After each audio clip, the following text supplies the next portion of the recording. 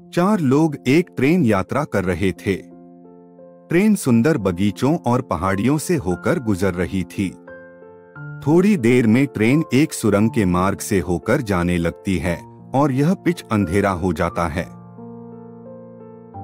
जब ट्रेन सुरंग से बाहर आती है तो पता चलता है कि नैन्सी का ब्रोच लापता हो गया है।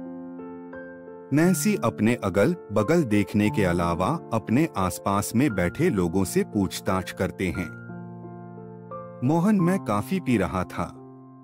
सोहन मैं सो रहा डॉट था। रामू मैं अखबार पढ़ रहा था। मोहन, सोहन और रामू इन तीनों लोगों में से किसने चोरी की है? बोलिए बोलिए बोलिए, बताइए बताइए। चोरी रामू ने किया है क्योंकि चोरी करते वक्त अंधेरा था और अंधेरे में अखबार को उल्टा पकड़ लिया है।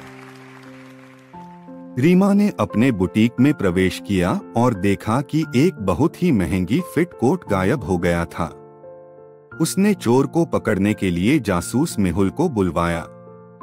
उसने मेहुल को बताया कि उसे तीन लोगों पर शक है। वॉचमैन, दोस्त और नौकरानी। डॉट वॉचमैन मुझे कोर्ट के बारे में कुछ भी नहीं पता, मैंने इसे नहीं चुराया है। दोस्त, कल मैं बुटीक पर आए थे, लेकिन मैं कुछ भी नहीं जानती, मैं कोई कोर्ट न। नौकरानी, मुझे फट से एलर्जी है, मैं इसे कैसे चुरा सकती हूँ? क्या आप चोर की पहचान कर सकते हैं? सोचिए सोचिए सोचिए, सोनकर, कर बताइए। नौकरानी। होटल के पोते में एक बहुत बड़ी शाही पार्टी चल रही थी। अचानक रोशनी और एक बंद हो गई। जब रोशनी वापस आए तो पता चला कि राहुल का ही रामीरा का गायब हो गया है। आ पार्टी में डिटेक्टिव मेहुल बेटा। और उन्होंने फुटेज से पहले और बाद में जाँच की और तुरंत समझ गए कि हर किसने चुराई है। क्या आप अनुमान लगा सकते हैं कि वह चोर कौन है?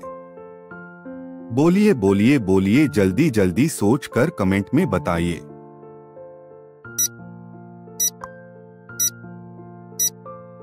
आदमी ये उसकी जेब को देखो, हार स्पष्ट रूप से दिखाई दे रहा है।